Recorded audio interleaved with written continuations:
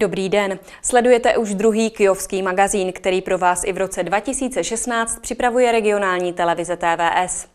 Ještě koncem minulého roku se podařilo dokončit středisko osobní hygieny v Centru sociálních služeb. Slouží i mobilním lidem, kterým umožní důkladnou očistu. Moderní vana a sprchový kout dominují zrekonstruovanému středisku osobní hygieny, které vyrostlo v Kijovském centru sociální péče. Obě zařízení pomůžou ošetřovatelkám a jejich imobilním klientům. Vysokozdvižná vana, která ulehčí eh, pečovatelkám eh, při péči o imobilní klienty, nicméně má v sobě i zabudovaný dezinfekční systém, který splňuje požadavky moderní doby a vůbec hygienickým předpisům.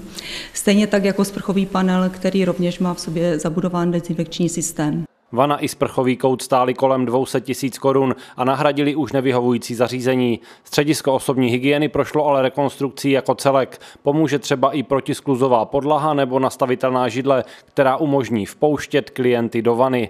Rekonstrukce vyšla skoro na milion korun. O náklady se podělilo město a Jihomoravský kraj, který poslal 450 tisíc. Tyto peníze získal Kijov díky tomu, že měl z hlediska financování sociálních služeb všechno v pořádku. V průběhu eh, letošního letošního roku se na mě obraceli starostové těch obcí, kteří zřizují sociální služby eh, s požadavkem na dofinancování sociálních služeb. Většinou se jednalo o eh, určitá nedopatření, kterých se obce dopustili a my jsme se jim snažili vypomoci.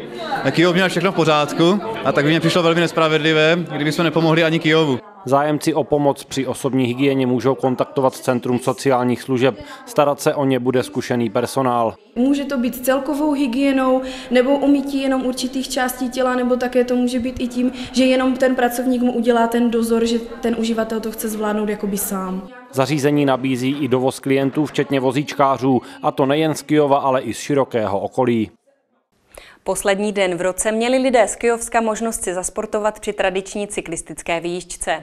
Akce nazvaná Poslední kilometr nalákala nejen výkonnostní cyklisty. Profesionální sportovci, členové kijovského cyklistického oddílu, nadšení amatéři, ale také recesisté vyrazili 31. prosince v Kijově od radnice na kole do Milotic.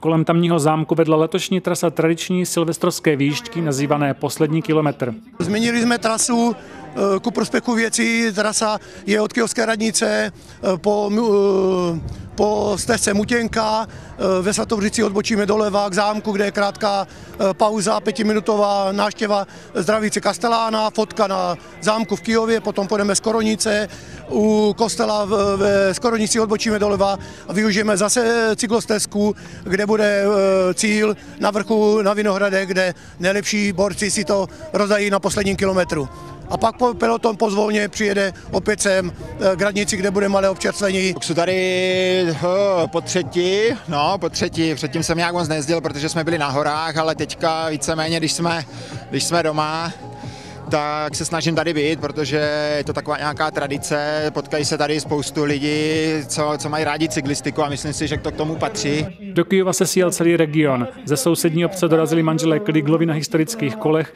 k vidění byl i velocipedista Josef Zimovčák. Ze Ždánic dorazila bývalá mistrně světa v cyklistice Iva Stafová, která také jako Josef Zimovčák umí na vysokém kole. Tentokrát ho ale nechala doma. Na vysoké bych nejela, protože mě docela zima, takže jsem si vzala takové, takové do terénu trošku, takové pohodlné, dalo by se říct. Zima skutečně byla. Nepříjemný vítr na začátku foukal do tváře, ale v druhé polovině trasy naopak tlačil dozad. Pořadatelé se dokonce báli, že kvůli tomu bude slabší účast, což se ale nepotvrdilo. Je to cyklistika a jsou tady takový borci, kteří jsou zvyklí z velkých závodů, Honza Barta, eh, mistr světa Lojkanskovský a tak dále. Jezdí závody eh, Tour de France, kde se jezdí, dojezdí určitě v takový teplota, jak panují dneska tady. Jak zhodnotili sami cyklisté, stačilo jim, že svítí sluníčko. Kotlíkové dotace jsou v současnosti velmi frekventovaným pojmem. Město Kijov o nich chystá seminář. Ten by neměl uniknout majitelům domů. Získat nové zařízení na vytápění svého domu za podstatně výhodnějších finančních podmínek budou moc lidé, kteří požádají Homoravský kraj o tzv. kotlíkové dotace. Ty jsou určené fyzickým osobám, tedy majitelům rodinných domů. Podmínkou je výměna ekologicky nevyhovujícího kotle za nový. To znamená, bavíme se o kotlech na pevná paliva s při, zřízeným přidáváním, bavíme se o kondenzačních kotlích a bavíme se o tepelných čerpadlech. Maximální výše dotace je 125 tisíc korun a ta bude přiznána v případě zařízení tepelného čerpadla. Jak přesně tuto dotaci získat se zájemci dozvědí na semináři, který pořádá město Kyjov ve spolupráci s Jihomoravským krajem 12. ledna v 15.30 v estrádním sále Domu kultury. Povede ho Jana Skácelová z odboru regionálního rozvoje Jihomoravského kraje spolu se zástupcem státního fondu životního prostředí. Ti zároveň představí i připravovaný program Nová zelená úsporám. Na tomto semináři se účastníci dozví, jakým způsobem se mají formuláře určené pro tuto dotaci vypisovat a jakým způsobem se bude podávat. Formuláře máme k dispozici na stránkách města, takže účastníci můžou tyto formuláře si stáhnout a můžou si otázky připravit dopředu. Samozřejmě formuláře budeme mít v tištěné podobě i při semináři. Jihomoravský kraj ještě takzvané kotlíkové dotace nepřiděluje. Lidé budou moct elektronicky vyplnit žádost o ně od 18. ledna do 30. dubna na webových stránkách kraje.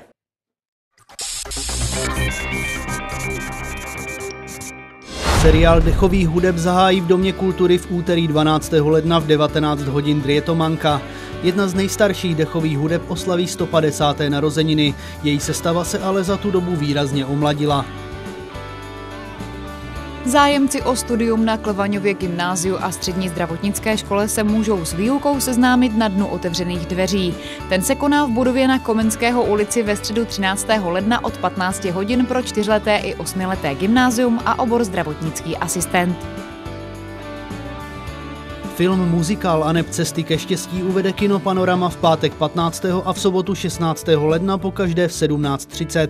V hlavní roli je třída Pražské konzervatoře, která nacvičuje starce na chmelu. To je ze zpráv z Kyjova pro dnešek vše. Děkuji vám za pozornost.